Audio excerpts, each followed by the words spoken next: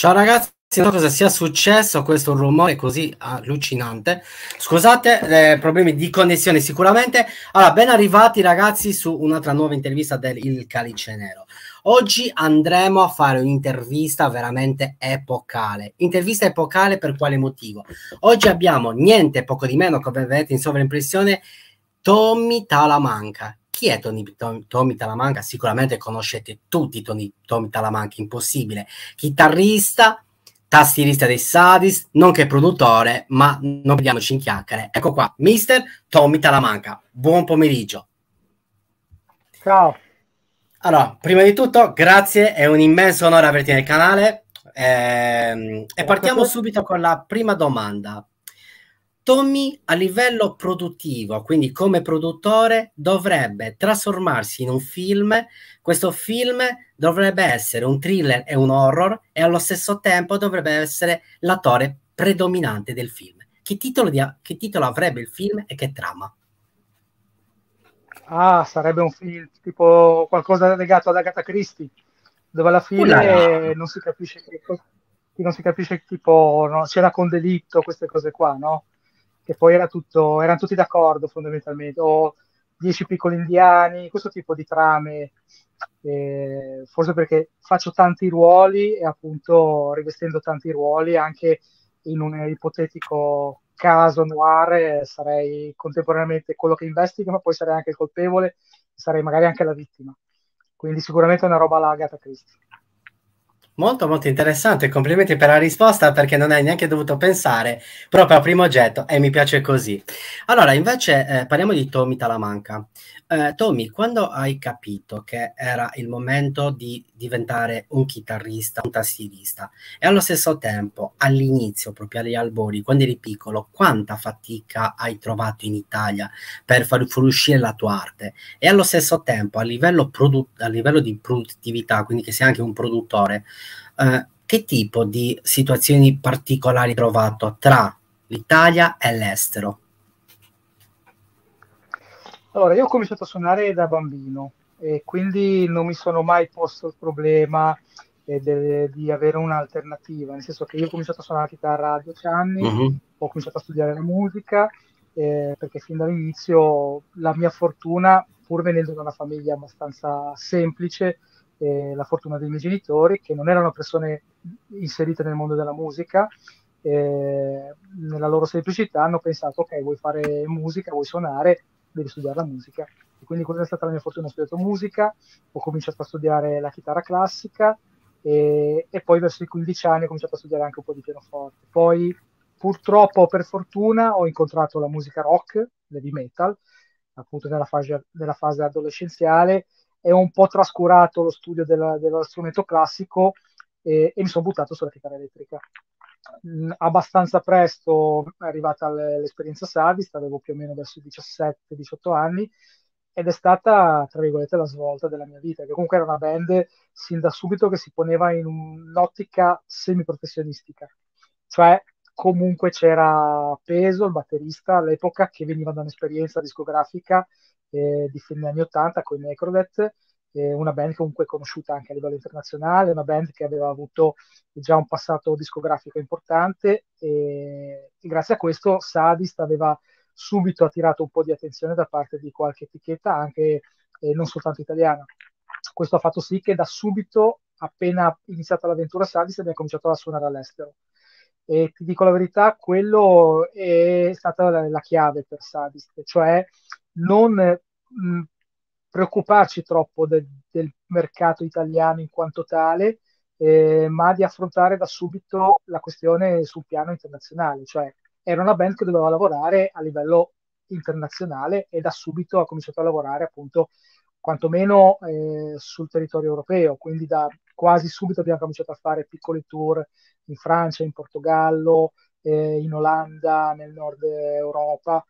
E, io diciamo non mi sono mai posto il problema di dire ah l'Italia mi limita, sono cosciente che l'Italia ha dei limiti, ma semplicemente perché strutturalmente la, l'Italia non è eh, preparata all'heavy metal, cioè non è il paese che a te viene in mente pensando al rock duro, all'heavy metal. Quindi se io penso all'Italia mi viene in mente il bel canto, mi viene in mente eh, Beniamino Gigli, mi viene in mente Verdi, Giuseppe Verdi, Rossini o al limite Albano, che può far sorridere, ma poi fondamentalmente noi siamo conosciuti per quello all'estero, è inutile che ce la stiamo a raccontare. Quindi fare un po' le piagnucolare, dire ah che sfiga, siamo italiani, è un po' nascondersi dietro la foglia di tifo.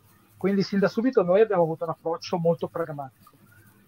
Ok, ci raffrontiamo con un mercato che è internazionale, facciamo un genere che eh, è internazionale, cantiamo in inglese e quindi abbiamo avuto la fortuna, grazie a un discreto contratto, quantomeno nella fase iniziale, con un'etichetta seppur italiana anche lì, che ha già una buona distribuzione estera, e, e di raffrontarci sul mercato internazionale. Il primo disco, Above the Light, ha avuto comunque un discreto responso anche all'estero e ha attirato l'attenzione di distributori importanti. Ci, mi ricordo che all'epoca appunto entrò in campo la Rising Sun, che era l'etichetta degli Angra, che comunque era un'altra realtà internazionale che veniva anche, anche loro da un paese che tu non associ direttamente all'heavy metal come appunto il Brasile, se non poi dopo il successo dei Sepolcari.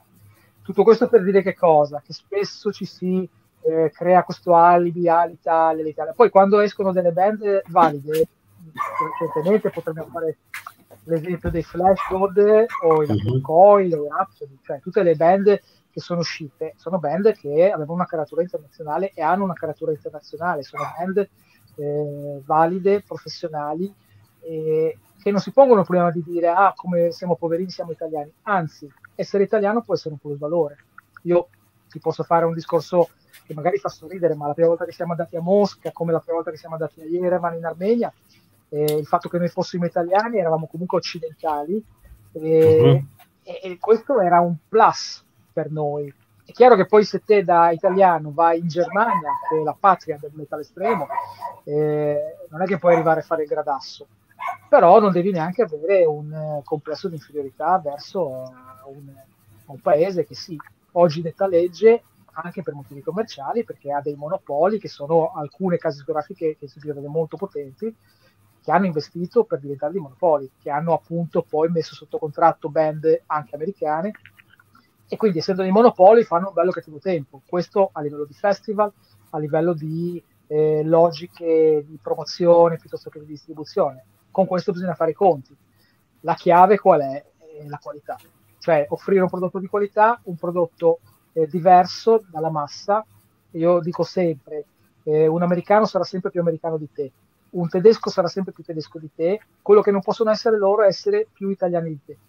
Quindi noi abbiamo sempre cercato di fondere l'elemento, la nostra passione che era la musica estrema, con nostra, il nostro background culturale, cioè il fatto che essendo italiani veniamo dal paese del bel canto, il paese che ha inventato l'opera, che ha inventato, eh, o meglio, comunque famoso anche per la melodia, e quindi abbiamo sempre messo tanta melodia pur facendo musica estrema e questo ci è stato da subito riconosciuto ed è stata un po' la chiave di volta per Sadist. Poi abbiamo fatto un sacco di cazzate e le abbiamo pagate, però questo fa parte della vita, la vita è fatta di alti e bassi.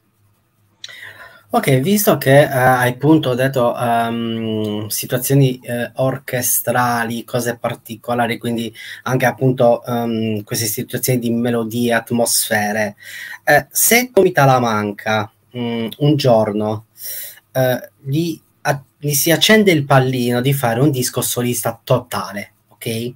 Quindi con la chitarra, la tastiera e poi appunto un'orchestra. Cosa ne uscirebbe da tutto ciò? Però questa orchestra dovrebbe essere tutto all'interno della natura, quindi al rischio di rovinare tutta la strumentazione, però avere quei riverberi giusti, mh, caldi è quei riverberi che rimandano proprio alla natura a 360 gradi. Ma io ti dico, uh, uh, ho una grande passione per la musica etnica folk di ecco. estrazione mediterranea, quindi tutto quello che viene dalle, dalle, dai paesi arabi piuttosto che dal Nord Africa o dal sud dell'Europa. Eh, ho sempre avuto questa passione innata per eh, gli strumenti appunto di derivazione prettamente medio orientale piuttosto che del sud del Mediterraneo e, e, spesso ho infilati un po' nei dischi anche dei sadist come ad esempio il buzuki greco eh, piuttosto che il sitar eh, o eh, ultimamente, recentemente addirittura un mandolino russo piuttosto che una balalaica o un liuto turco. Eh, quindi se dovessi fare un lavoro di questo tipo, ho fatto due dischi strumentali, o meglio, due dischi solisti, uno strumentale e uno parzialmente strumentale, eh, dove appunto questi elementi emergevano a scapito dell'elemento più estremo, quindi chiaramente Sadist è la band dove io faccio musica estrema, ma io mi, mi reputo eh, un musicista, non mi reputo un musicista di musica estrema, ma mi reputo un musicista eh, che suona anche musica estrema e che ama la musica estrema. Quindi con Sadis mi piace mischiare mantenendo comunque sempre il background del metal estremo. Eh, se invece suono fuori dal contesto Sadis o faccio cose mie, io ad esempio sono un grande fan di Dead Can Dance o grandissimi questo tipo di, questo tipo di artisti che hanno ibridato anche loro la, la New Age con l'elemento elettronico dark eh, che sono elementi che in Sadis rientrano eh, marginalmente rispetto all'elemento tipicamente metal.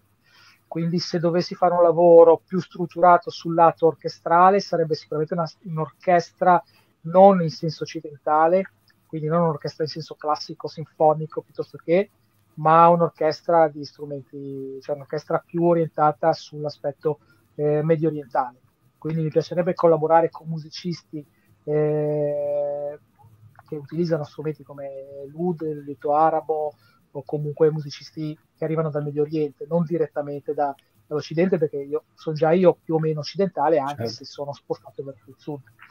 Eh, perché? Perché sono cose che adesso non mi interessano particolarmente, cioè abbiamo già sperimentato con Sadis l'elemento tra virgolette orchestrale sinfonico, eh, ora ho più interesse verso elementi non prettamente occidentali a livello di mh, orchestrazione, ma a elementi più orientaleggianti.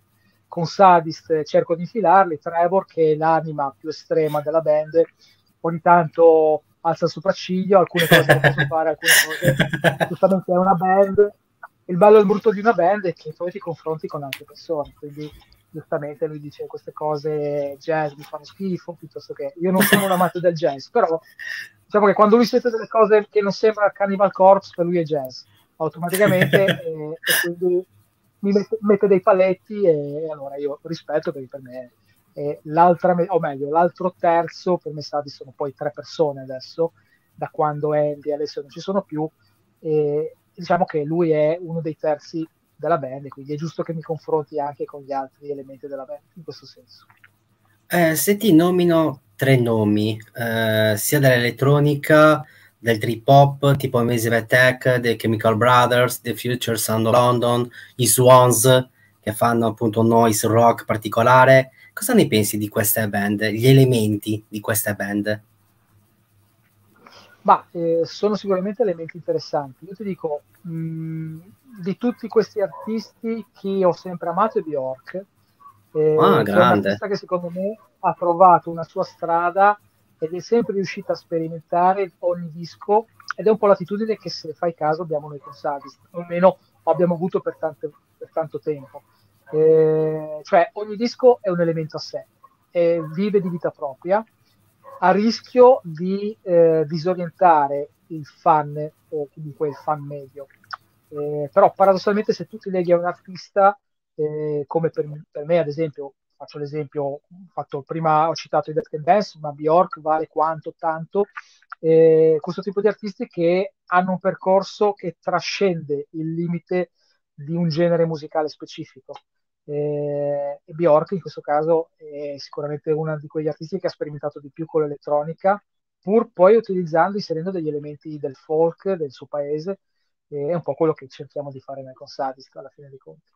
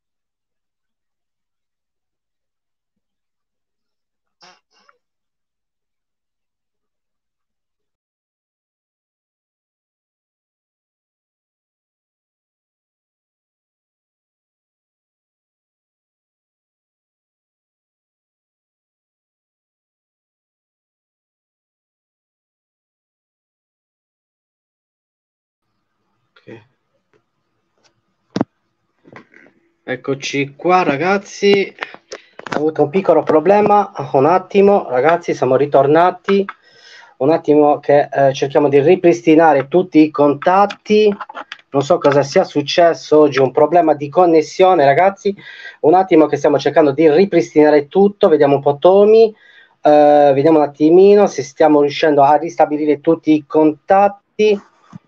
Eccoci qua ragazzi, vediamo un attimino. Eccoci qua. Ok. Allora. Ok. Scusami Tom, è saltata completamente la Scusami Tom, è saltata completamente la connessione è saltata, non so cosa sia successo, perdonami. Um, ci siamo, mi senti? Ti sento, ti sento. Ok, è saltata completamente la connessione, c'è stato un problema. Eh, dove eravamo arrivati? Quindi stavamo parlando di Bjork, stavamo parlando dell'evoluzione di Bjork. Della musica di questo tipo di artisti che sperimentano anche con l'elettronica. E, e come ti accennavo è un percorso che in qualche modo abbiamo anche affrontato con Sadist, quindi mischiare l'elemento elettronico, soprattutto nell'ultimo disco in Firescorch, con l'elemento etnico, quindi comunque fondere strumenti etnici e acustici con anche alcune ricerche nel campo elettronico. Chiaramente non siamo in Massive Attack, non, non ci interessa neanche esserlo, però è un, eh, un campo sicuramente interessante ed è nell'ottica sempre della ricerca che Sadist ha sempre affrontato fin dal primo disco, cioè di cercare di andare oltre a un canone di quello che è il classico canone di un gruppo di, di metal estremo, eh, pur mantenendo l'approccio appunto estremo. Quindi la, la, finalità per noi è creare delle composizioni che mantengano eh, l'aggressività senza, non, senza necessariamente ricorrere ai canoni stereotipati de- della batteria con i blast beat piuttosto che della chitarra o del muro di chitarre. Ed è una cosa che ha sempre fatto fin dai primi dischi. Perfetto, andando oltre, ehm, quindi in, entriamo nel mondo dell'arte proprio totale, l'arte totale all'interno dei colori, quei colori astratti che riescono a incarnare, a far fuoriuscire l'arte di Tommy Talamanca attraverso la tastiera. Mi interessa molto l'atmosfera, l'atmosfera, melodie della, della tastiera stessa, eh, incarnando dei colori. Dei colori però non andiamo dei soliti colori tra il bianco, il nero, il grigio, il rosso, proprio colori particolari, quasi nello sfociare tra l'arancione, tra il verde. Quali sono i colori che potrebbero essere indicabili per l'arte di Tommy Talamanca? Ma io non so se ci sono dei colori specifici. È chiaro che se penso alla maggior parte delle composizioni legate a Sadist, eh, i colori sono sempre toni molto cupi, molto scuri, perché comunque l'elemento dark in Sadist è sempre stato molto molto presente. Eh, non perché io sia una persona particolarmente cupa, anzi sono una persona molto solare, mm, un po' in antitesi con la musica che faccio. Amo l'estate, amo il mare, vado in bicicletta, quindi sono mm, veramente una specie di schizzato, perché poi faccio una roba cupa, aggressiva, però in realtà dal vivo sono una persona molto diversa. E, appunto la musica secondo me, l'arte in quanto tale, è un mondo parallelo, cioè serve a veicolare un, eh, una personalità dell'artista, anche se è una parola che è un po' abusata, oggi siamo tutti artisti, tra virgolette, quindi se siamo tutti artisti nessuno è artista.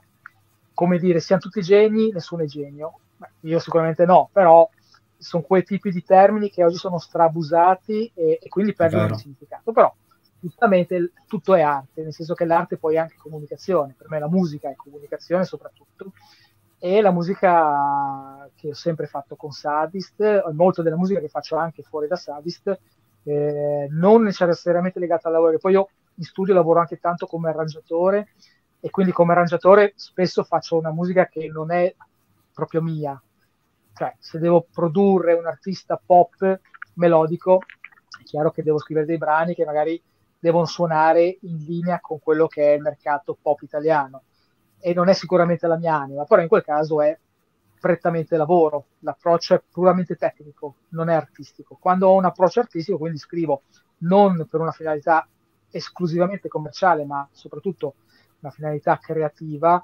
eh, con quell'elemento dark, quindi colori scuri, come ti dicevo, salta sempre fuori, non necessariamente legati a, alla chitarra eh, o alla tastiera. All'inizio la tastiera era uno strumento facile e veloce per ottenere dei colori, come dici te, soprattutto perché all'inizio non c'erano grandi budget e, e non c'era anche una grande conoscenza tecnica per poter dire inseriamo il sitar piuttosto che inseriamo dei violini. Allora la tastiera ti consentiva di inserire questi strumenti, anche se virtuali, eh, però riuscivi a creare questa atmosfera. Mm, pensiamo soprattutto al secondo disco dei Sadist, dove sempre suonando la tastiera, però emulavo il suono del sitar piuttosto che il suono del buzuki. Da un certo momento in poi la tastiera mi stava stretta e quindi dal dal Sadist, dal disco omonimo, eh, ho cominciato a dire ok, se voglio un Buzuki devo registrare un Buzuki, non lo devo registrare con la tastiera. Se voglio un sitar devo avere un sitar, non, perché comunque cambia il suono, cambia l'approccio. Eh, la tastiera chiaramente è semplice da suonare, è uno strumento relativamente semplice eh, e quindi ti facilita troppo il lavoro, quindi ti dà dei colori preconfezionati e ti toglie delle sfumature, mentre invece quello che secondo me è l'essenza dell'arte sono le sfumature. Non so come dire, eh, io con uno strumento acustico ho delle sfumature che non ho con la tastiera, che ha dei colori netti. E quindi il blu è il blu, il giallo è il giallo, mentre invece quello che poi per me è interessante nella musica sono le sfumature. Ed è l'essenza poi dei sadi, che non si capisce bene che musica fanno, quindi i toni sono sempre un po' sfumati all'interno di sadi. Quindi quelle sfumature che ad occhio nudo non si vedono? Quelle angolature artistiche, diciamo? Sì, diciamo che sfumature che non vedi subito. Mm, quello sì. che non amo del, di un certo tipo di metal moderno è che è, tutto troppo schematico e quindi anche i colori mm. sono schematici. Eh, il metal sinfonico, il metal sinfonico, il viking metal e viking metal è tutto un po' stereotipato. Eh, una volta la musica non era così. Io ho questo amore sviscerato per, viscerale per la musica degli anni 70, quindi il prog e, e tutto quello che viene da quell'epoca. Anche mh, dall'Italia, pensiamo alle grandi band, le, le Orme, PFM. cioè la PFM che si cita sempre, il Banco, eh, cioè una volta c'era questa ricerca delle sfumature nella musica e si è un po' persa. Mm, io per estrazione mia e soprattutto per gusto personale è una cosa che, a cui non riesco a rinunciare. Ed è stato da, da sempre un po' la caratteristica dei sadist. Io chiaramente, essendo il principale compositore, eh, ho influenzato tanto questo aspetto nella band. Eh, però è una cosa che ha sempre coinvolto anche gli altri membri della band tutti quelli che hanno girato intorno a Sadist, perché c'era questa volontà, questa ricerca delle, delle sfumature. Quindi mh, Sadist era un gruppo estremo, però aveva questi colori che altri gruppi estremi non avevano. Ed è quello che poi ha creato un po' di interesse intorno alla band. Quindi sarebbe stato stupido eh, rinunciare semplicemente perché ci rendeva un po' eh, difficilmente catalogabili e spesso c'è stata rivolta questa critica, eh, ma voi non si capisce bene che musica fate, che genere fate, o all'inizio ci dicevano addirittura, eh, ma la vostra musica non si può pogare. E, e noi dicevamo, ho capito, però questa è la nostra musica, se vuoi pogare vai a sentire un gruppo che fa un genere che sia fatto apposta per essere solo ballato, solo per essere pogato. Mm, che, il vostro genere non sia da poco, non sono d'accordo chi te l'ha detto, perché quando avete, siete venuti in Sardegna avete fatto un casino, un macello veramente incredibile. Mi riferisco quindi. tanto ai primi dischi. Eh. Ah, ok. Mi riferisco tanto soprattutto ad Above the Light, che obiettivamente è il disco dove l'elemento... Scusa. L'elemento... Prego, prego, ci mancherebbe. In secondo piano e quindi è sicuramente il primo disco Above the Light, tolti due o tre episodi, è un disco molto più orientato sulle atmosfere piuttosto che sull'aggressività. Abbiamo uh-huh. cominciato a pensare molto di più alle composizioni in funzione del live, appunto dal, dal disco omonimo, dal, da Sadist, eh, perché noi siamo essenzialmente una band live. Quindi va bene essere interessanti, strani, originali, però poi dal vivo siamo un gruppo rock, un gruppo metal e ci piace quell'approccio lì, nel senso che per noi l'essenza è quella, eh, l'elemento metal dal vivo è l'elemento più importante. Mentre invece su disco ci deve essere anche spazio per, per altri elementi che magari limitiamo in sede live. Quindi anche la scelta del repertorio in funzione del live è basata su questo. Cioè, è una band d'ascolto, ma è anche una band eh, da intrattenimento. Quindi sono le due anime eh, che poi si sviluppano a seconda del contesto. Contesto live è diverso dal contesto di puro ascolto del, del disco fisico comunque dell'esperienza puramente uditiva e non dell'esperienza percettiva. Tommy, eh, se invece andiamo su, a livello poetico, a livello di libri sulla filosofia, quanto gli, i sadist riescono a intrecciare queste due situazioni, quindi questi due modi, mondi artistici. Quindi eh, mm, un libro di filosofia particolare, un libro che riesce a raccontare tutti i segmenti appunto sadist e allo stesso tempo la poesia. Queste rime che riescono a incarnare l'arte, ma l'arte è quella di sottofondo degli, dei sadist non so in questo senso se c'è un elemento poetico, non è che siamo proprio dei poeti, no? essenzialmente, anche perché poi nei testi spesso troviamo, troviamo a parlare di, di, elementi che rispecchiano un po' l'aggressività della musica. Uh-huh. Dal punto di vista lirico, sì, privilegiamo l'elemento aggressivo, eh, mentre invece forse l'elemento più poetico è nella musica non ecco qui. Ecco. Eh, quindi non saprei dirti se c'è mh, una poesia, una, una lirica che possa influenzare in questo senso Sadist. Nonostante il nome, non siamo dei, dei, dei particolari cultori del Marchese de Sade, piuttosto che di quel tipo di decadentismo, di quel romanticismo decadente alla Byron, piuttosto che questo tipo di autori. Eh, io personalmente mh, diciamo che preferisco la, la poesia espressa in termini di, di, musica. Quindi per me la, mhm. la liricità, la poeticità deve uscire dal, dall'orchestrazione piuttosto che dal puro testo. Nonostante abbiamo cercato di curare i testi, soprattutto nel, da quando è subentrato Trevor nella band, abbiamo dato molta importanza ai testi e alle liriche. Diciamo che forse il poeta, tra virgolette, anche se è un poeta chiaramente sui generis più Trevor che non quindi lui potrebbe risponderti sicuramente quindi invece tu potresti essere un libro filosofico creare una filosofia grazie alla tua strumentazione, sì, sì, tuo modo di suonare. Mia, mia, moglie mi prende molto in giro in questo, dice che sono, dovrei fare il filosofo. Penso è, ah, quindi azzeccato allora che... E che, li, che, titolo, che titolo avrebbe questo libro di filosofia secondo Tommy Talamanca? Ah, non lo so, guarda, eh, poi è molto complicato anche questo, perché poi eh, filosof- filosofeggiare diventa poi un esercizio di stile, e quindi non c'è un autore, nel senso che chiaramente pensando al tipo di musica che facciamo ti può venire in mente un autore nichilista come può essere Nietzsche, anche se poi okay. io personalmente non sono particolarmente nichilista come, come persona, quindi in questo senso non saprei dire se... Eh, c'è un autore più che altri eh, che possano ispirare la, la filosofia legata alla, alla, musica. Secondo me la musica in sé può essere anche filosofica, cioè può essere un mezzo per, eh, per pensare, per far pensare. E, e credo fermamente in questo, penso che eh, l'esperienza uditiva che oggi purtroppo è relegata a sfondo purtroppo oggi ascoltiamo la musica facendo mille altre cose e, ed è un peccato perché comunque è, un, è, una lingua la musica. Noi non potremmo mai pensare di leggere un libro guardando un, un film, okay?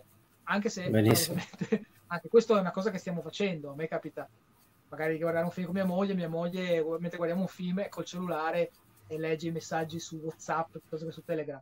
Ed è una roba che a me manda fuori di testa purtroppo qualche volta lo faccio anch'io, però eh, mi sembra un po' una, una schizofrenia del, dell'epoca in cui siamo vivi. A proposito dell'epoca che stiamo vivendo e l'epoca che fu, eh, e parlo del, sia della musica, soprattutto della musica estrema, quindi del black, del death, del trash, eh, del funeral doom, quindi le registrazioni più minimal, più eh, particolarmente grezze rispetto appunto alle mh, produzioni adesso che ci sono delle produzioni che sono molto patinate, molto cristalline, talmente pulite che si perde il mordente, si perde quella eh, grezzosità artistica. Mh, quanto eh, appunto stiamo parlando di, di l'evoluzione musicale, però quanto ha perso Uh, realmente la musica come si esprimeva negli anni 90, negli anni 80 rispetto agli anni 2000, perché grazie alla tecnologia ci sono stati degli aiuti enormi, quindi errori artistici, uh, vai in sollecitazione, uh, il disco può uscire con gli errori, è difficile.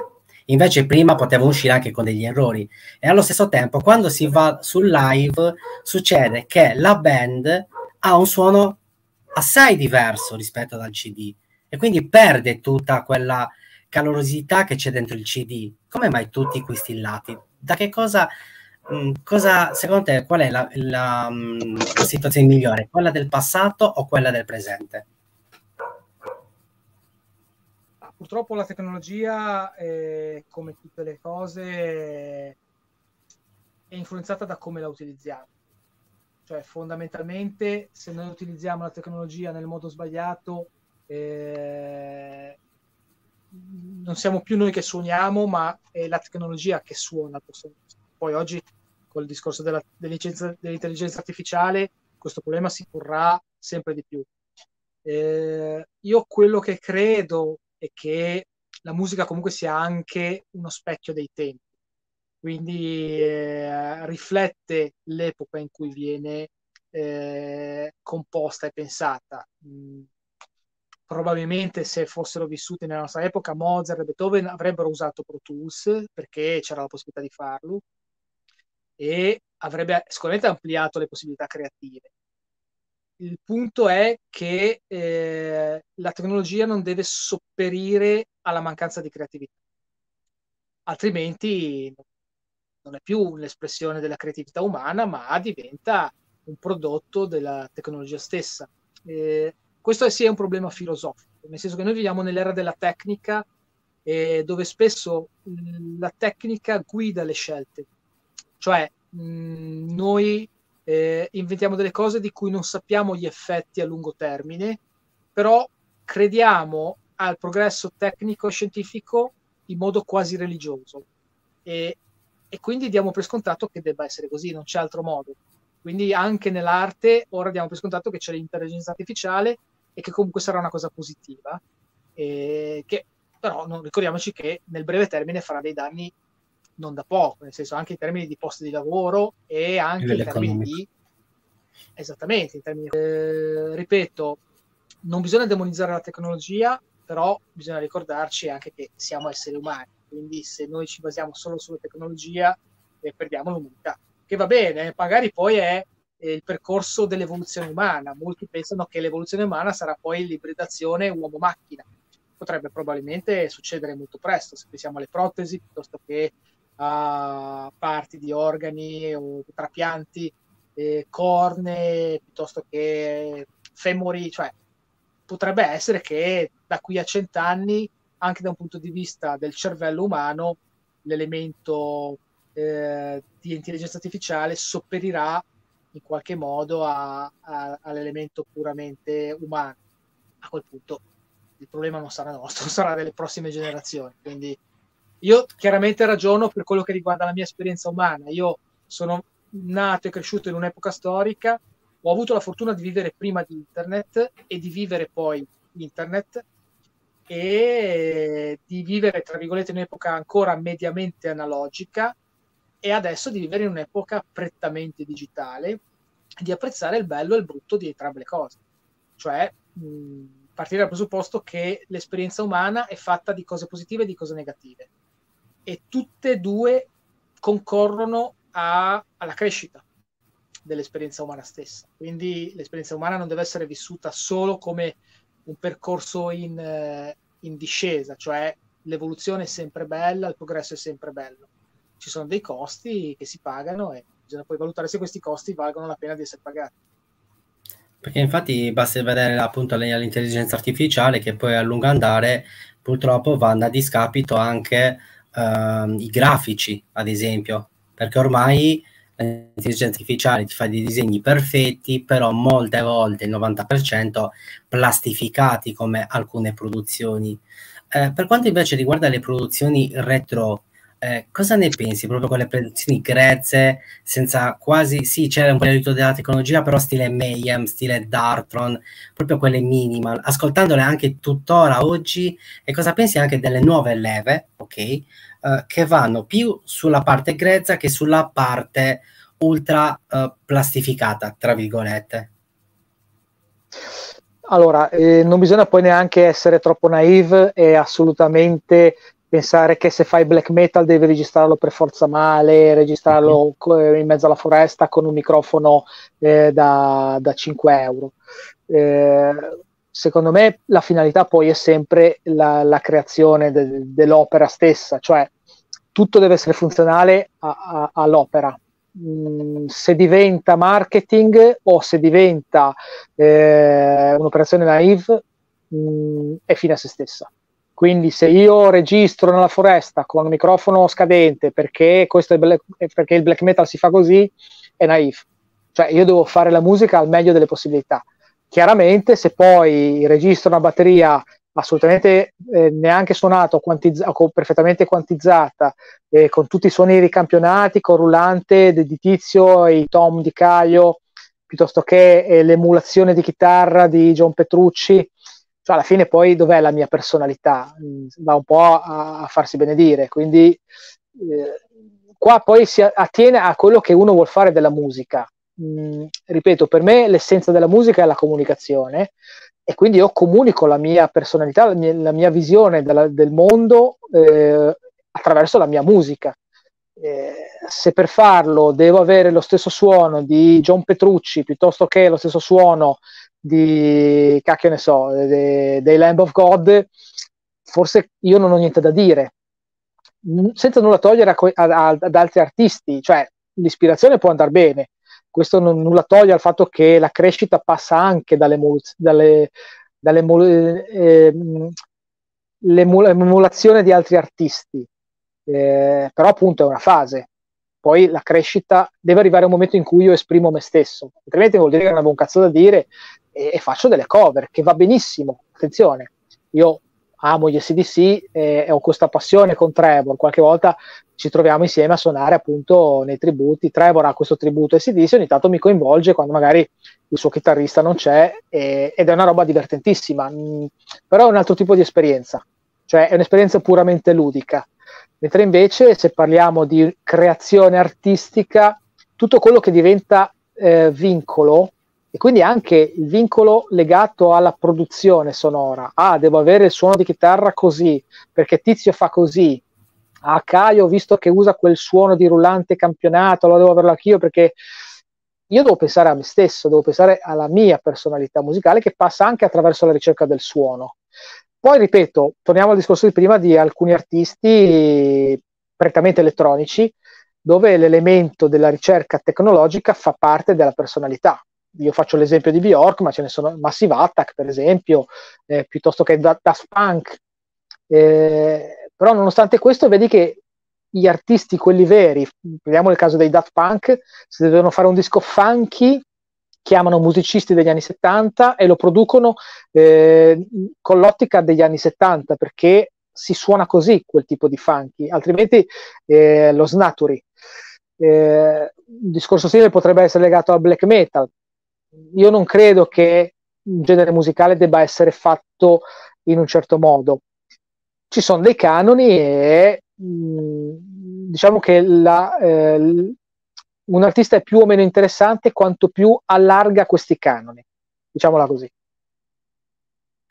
Eh, se portiamo i Sadist live, però non esistono i club, non esistono i grandi eventi tipo Wacken cose del genere ma esistono situazioni particolari, situazioni particolari come ad esempio un anfiteatro di Rocatto in Zanatura, questo uh, anfiteatro dove vi sono stati lasciati ehm, degli amplificatori che non suonano in maniera perfetta, però riescono a rendere quello che i sadist vogliono stesso, nello stesso momento. Quindi come riuscirebbe a creare l'atmosfera? Come riuscite a creare l'atmosfera in questo luogo? in questo luogo così estremo, perché poi alla fine andando a, uh, verso la notte, quindi al buio, non sapete cosa vi è fuori dalle mura. Quindi ci può essere una cosa completamente estrema che voi siete ignari su tutto. Ma io credo che nell'immaginifico di qualsiasi musicista rock ci sia un po' il live a Pompei dei Pink Floyd. E quindi un grande anfiteatro dove il musicista è quasi da solo con gli strumenti e circondato dagli strumenti di cui ha bisogno. Quindi è sicuramente l'elemento più iconografico da questo punto di vista, se vogliamo, uscendo dal contesto eh, classico del club piuttosto che dal contesto classico del festival e quant'altro. Io mh, sono un amante, come ti dicevo, appunto degli anni 70 e ci sono de- de- dei passaggi che sono rimasti iconici e Live a Pompei dei Pink Floyd sicuramente è uno di questi e questo tipo di domanda mi viene subito da rispondere così, cioè penso a un anfiteatro romano piuttosto che eh, a questo tipo di contesto. Poi l'elemento elettrico è un po' in antitesi forse, eh, e quindi trovare un equilibrio tra l'elemento acustico e l'elemento elettrico o elettronico addirittura, se fosse il caso, eh, quella è la vera sfida. Mm, diciamo che non ci è ancora capitato, sarebbe sicuramente interessante un contesto di questo tipo, o meglio, ci sono capitati delle location meno canoniche del solito, ma non così iconiche come può essere appunto Pompei piuttosto che un anfiteatro romano da qualche altra parte. Sarebbe una bella sfida. Se questa sfida diventa ancora più grande all'interno di un ospedale psichiatrico dove non vi sono più pazienti, però senti delle urla, senti dei richiami della, appunto di questa parte schizofrenica dell'ospedale stesso e come entrate sentite quella, ehm, quel sapore di dolore, quel sapore di rabbia, ok? Verso appunto che i pazienti sono stati lì incatenati, quindi dovete eseguire un, un live per far sì che le anime vengano liberate che tipo di track andrete a creare? Una nuova track? Bah, diciamo che questo elemento è, ricoperto bene da Trevor. Quando è entrato Trevor nei Sadist, all'epoca del terzo disco Crust, eh, ha giocato molto sull'elemento appunto della follia, dell'estremizzare eh, il suo ruolo di, di, cantante, anche col tipo di voce. Mm, quindi con la sua voce molto, molto forte, e inizialmente incentrata molto sulle, sullo scream, appunto per evocare questo tipo di eh, elemento folle che è connotato delle, di un certo tipo di metal estremo. E, l'elemento psicotico nei testi di Crust ci sono molti elementi in questo senso che possono ricondurre a perversioni mentali. C'è un brano che si chiama Obsession Compulsion che parla appunto de, de, della sindrome dell'ossessione compulsione, eh, piuttosto che alcune parafilie. Crust è forse l'album che più rispecchia questo tipo di eh, elemento, cioè l'elemento della follia eh, legato alla, alla, musica estrema, cioè alla musica di Sadist. È sicuramente il nostro disco più estremo, non tanto dal punto di vista sonoro, ma dal punto di vista concettuale, per i testi, per l'approccio a, al cantato di Trevor e, e sicuramente è, il disco che se ci, ci, chiamassero a suonare in un ospedale psichiatrico sicuramente suoneremmo quel disco. In quel modo lì anche la batteria era suonata in un modo molto eh, schizoide se vuoi, eh, rispetto a, agli schematismi dei primi due dischi che erano molto più eh, inquadrati in qualche modo, erano molto più puliti. Crust è un disco assolutamente schizoide. è anche uno dei nostri dischi preferiti all'interno della, della discografia Sadist perché è un disco di rottura, appunto di rottura dai canoni precedenti, ma anche di rottura eh, rispetto a, a, un certo tipo di sensibilità legata ai testi o anche a un certo tipo di, tra virgolette, buonismo. Perché oggi eh, primeggia in tutti i campi, anche purtroppo nel metal. Diciamo che noi con quel disco abbiamo proprio voluto vestire i panni dei cattivi eh, e anche dei malati mentali. Quindi eh, portare eh, l'elemento di rottura, l'elemento che va oltre il canone della normalità e rifletterlo nella musica, perché poi la musica, l'arte in questo senso deve essere anche rottura, eh, anche violenta, quindi la violenza de- de- della musica si rispecchiava benissimo nei testi e viceversa con, con Crust.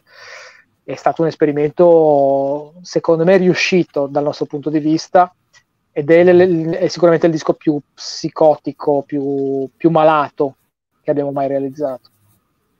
Invece gli elementi terra, fuoco, aria da parte di Tommy Talamanca, come riuscirebbe a incarnare questi tre elementi con tre riff diversi? uno acustico, uno semiacustico, uno elettrico.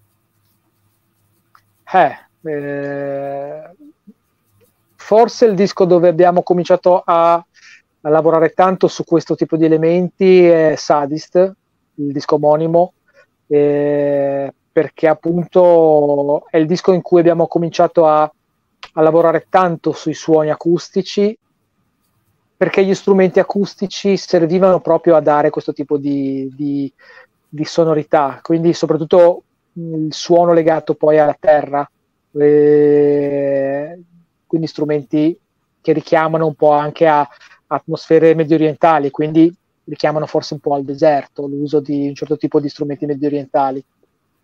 Non saprei se c'è un riff piuttosto che una melodia in questo senso, ma è, è forse più il disco. E, e, il disco che più è legato a questi elementi che citavi sicuramente appunto il disco eh, non tanto al fuoco perché se parliamo del, del, fuoco forse Fire Scorched anche perché il titolo stesso lo evoca è, è il disco che più evoca l'elemento appunto del fuoco anche nei stessi stessi spesso ritorna l'elemento del fuoco in termini appunto di eh, il fuoco in senso mh, mm, negativo, cioè il fuoco che uccide, che tortura, che, che crea il male. Chiaramente noi siamo sempre eh, una band metal e ci chiamiamo sadist non a caso. Affrontiamo sempre questo tipo di approccio eh, nelle, nei testi e nelle composizioni perché poi riflette un po' questo elemento dell'arte, cioè l'elemento disturbante, l'elemento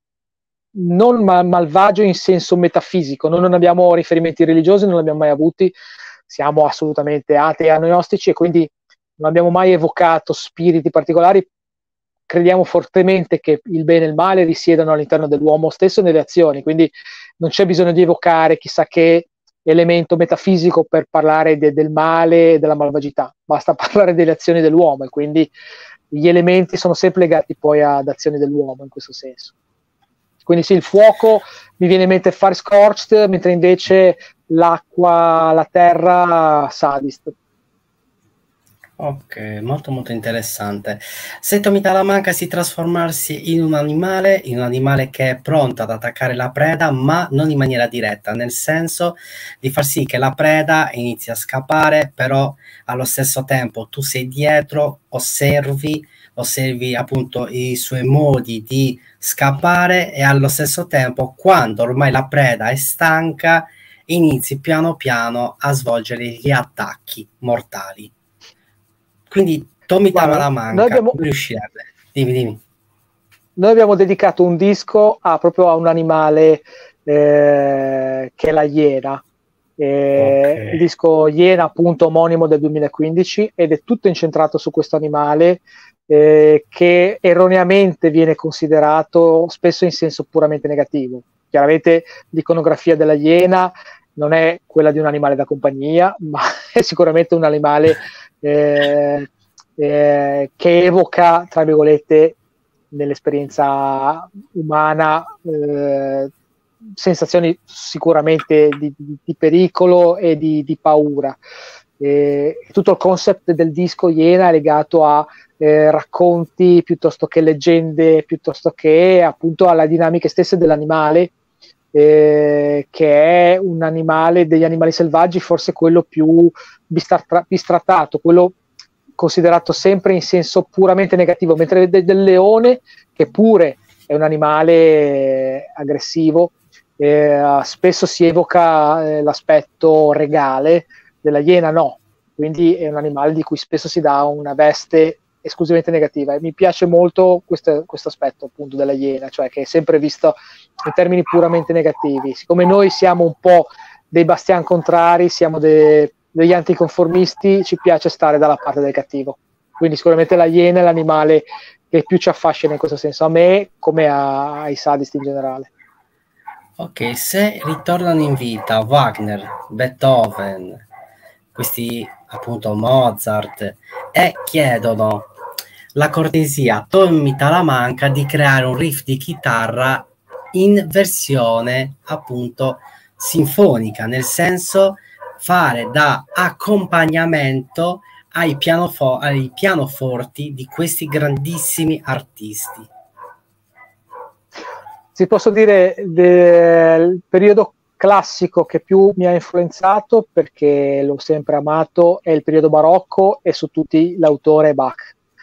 Quindi se devo dirti un autore a cui mi sono sempre ispirato e spesso mh, si, si, nota nelle composizioni, eh, Bach o comunque il periodo barocco. Quindi più che il romanticismo, quindi Mozart, Beethoven, eh, siamo molto più legati nelle composizioni, soprattutto dei primi dischi, al periodo di, barocco di politicità. Quindi se devo pensare all'autore penso a quello che è il padre della musica eh, tra virgolette, classica in senso assoluto per noi in Occidente, che è appunto Johann Sebastian Bach. E io credo che qualsiasi riff pescato da, da Above the Light possa essere in qualche modo eh, trasportato in una composizione bacchiana senza grandi difficoltà. Invece Guccini, Vecchioni, Battiato e Tomi Talamanca cosa succede? Cosa succede Ma all'interno di queste tre per, menti? Per simpatia politica ti dico magari Guccini, anche se non, non, non l'ho mai seguito artisticamente. Eh, non siamo molto vicini al cantautorato, pur avendo magari un... Appunto per quello proprio. Appunto proprio per quello. Una cosa folle. Fuori Guarda, in realtà l'unico ti posso dire, in realtà no, se c'è un autore che paradossalmente è, è, anche lui è di Genova ed è André, perché ah. comunque anche lui ha sempre messo l'elemento fo- folk etnico, eh, pensiamo a Croce de Ma, Croce de Ma è considerato un disco di world music, mm. Peter Gabriel dice per esempio che Croce de Ma è uno dei più importanti dischi di world music eh, mai fatti ed è, ed è, vero, è un disco di world music in qualche modo.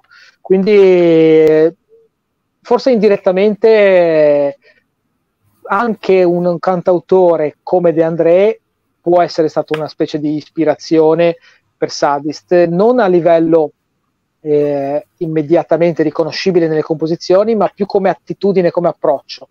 Quindi la ricerca eh, folk, mh, inserire elementi folcloristici all'interno della musica, eh, alcuni strumenti che usava anche De André nei dischi o nei live sono gli stessi che poi utilizziamo noi, pensiamo al Buzuki. Eh, sì, forse De André è l'unico cantautore che mi viene in mente che potrebbe essere in qualche modo avvicinato a Sadis e che per combinazione anche lui è di Genova. Forse non è una combinazione allora. Molto probabile. L'ultima domanda è questa, la domanda appunto a marchio di fabbrica del canale. In alto sulla tua testa c'è il calice. Questo calice anticristiano okay. con questa calice rovesciata dovresti inserire una bevanda allora quanto alcolica, ma non talmente alcolica che brucia completamente le papille gustative. Quindi lascia quell'amarognolo e dolciastro della bevanda che vuoi appunto decifrare con Sadis. Qual è? Eh, una, bella domanda. Eh Mm, sicuramente non sarebbe una bevanda eh, né troppo leggera né troppo alcolica, quindi non credo che Sadi sia associabile né alla birra né all'assenzio. Io credo che Sadi sia associabile a un buon vino, magari con un carattere molto forte, eh, potrebbe essere, non lo so, anche un nero d'avola, cioè quindi un mm. vino particolare che può piacere o no, ehm, magari non è un Montepulciano, quindi quei vini eh, iconografici che piacciono a tutti, anzi prestigiosissimi, ma un vino particolare che non piace a tutti, ma che ha una identità molto molto forte. Quindi forse sì, mi viene in mente il Nero d'Avola, anche se non è della nostra terra, però lo associo più facilmente. Ok, grazie mille Tommy, è stato veramente un onore, un piacere. Eh, vorrò averti assolutamente una seconda parte di intervista perché è stata un'intervista veramente figa. Eh, ti auguro tutto il meglio, ti auguriamo tutto il meglio, eh, vita privata e vita artistica. Quindi ci sì, sentiamo presto e ancora grazie di cuore. Grazie a te, alla prossima. All- alla prossima, buona serata. Ciao Toby. Ciao, ciao. Eccoci qua ragazzi, oggi abbiamo avuto un'intervista con Tommy Talamanca dei Sadis, chitarrista, tastierista, produttore, grandissimo artista. Allora, uh, niente, noi ci vediamo direttamente alle uh, 9, alle 21, alle 21 con appunto un'intervista verso gli Epnes, progetto appunto fran- belga, scusate, non francese, molto molto interessante. Mi raccomando ragazzi, il grande spettacolo si fermerà mai, sacro codice d'onore 000, la morte vi renderà liberi. Allora, vediamo un pochettino se trovo la sigla di chiusura. Or... Un attimo, controllo rovescia. Oggi non la trovo. Finito. Au revoir.